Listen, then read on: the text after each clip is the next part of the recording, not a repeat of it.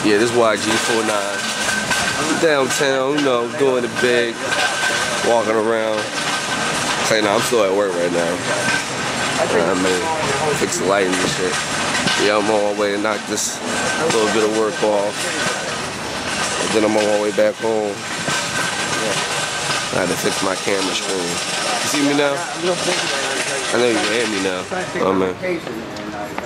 So yeah, it's my vlog for today. I look like it's gonna fucking rain or some shit. I mean, but um, I get back to y'all. What I mean? Uh huh. Yeah.